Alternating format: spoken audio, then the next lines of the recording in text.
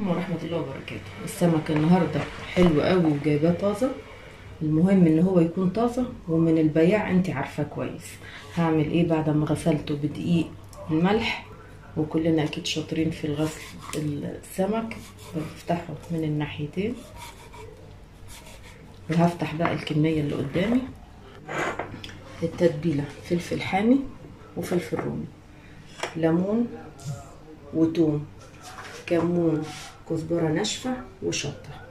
هحطهم في الكبة وأتبل بيهم الايه السمك بتبلناه بالملح طبعا لكل مرة أنساه. الملح والكمون والشطة والكزبرة الناشفة بتديله ريحة حلوة قوي. وحطينا الفلفل حامي وفلفل رومي وعصرنا ليمون وطبعا توم.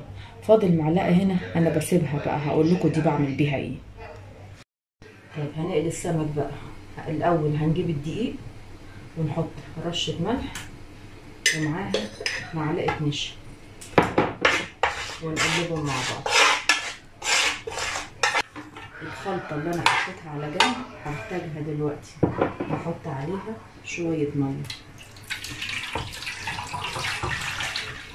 عشان هنزل فيها السمك دلوقتي زي ما هنشوف. أول حاجة هنعملها ادي السمك بتاعنا أهو. بعد التتبيلة بتاعته احطه في الدقيق من الناحيتين بعفره بالدقيق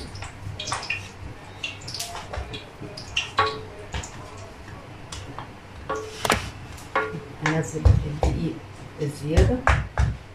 المعلقة اللي فيها خلطة السمك حطيت عليها مية. هنزل فيها السمك. وهنزله تاني في الدقيق. يدي الكفر والقرمشه والزيت سخن. أحطه فيه على طول. طيب قشر الليمون أنا برميه؟ لا ما برميش قشر الليمون. ما برميش أي حاجة. طب أمال هعمل إيه بيه؟ طب عشان ما أخليش ريحة المطبخ والشقة سمك. وأنتوا عارفين بقى ريحة السمك؟ بعمل إيه؟ بحط قشر الليمون في الزيت. يمتص أي روايح السمك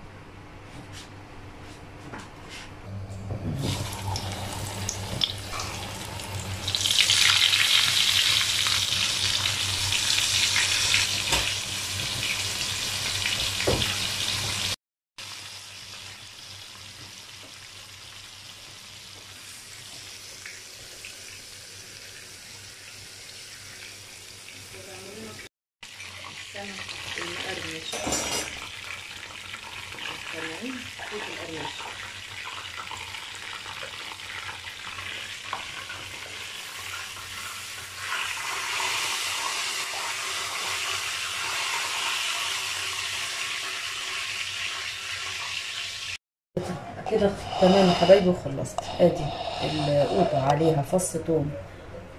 القوطة المخلله وكمون والملح.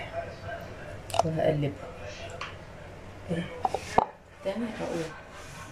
والسمك بعد ما اتقلى وبعد كده هحطه على الإيه؟ هحطه على مناديل. بس لازم الخطوة دي عشان لو حطيته على المناديل مباشرة هيطرى قوي. لازم أحطه هنا يتهوى وبعد كده انقله على المناديل. والطحينة. علبة زبادي وطحينة وملح وكمون وليمونتين ورشة خل. يلا الصورة كده كلها على بعضها.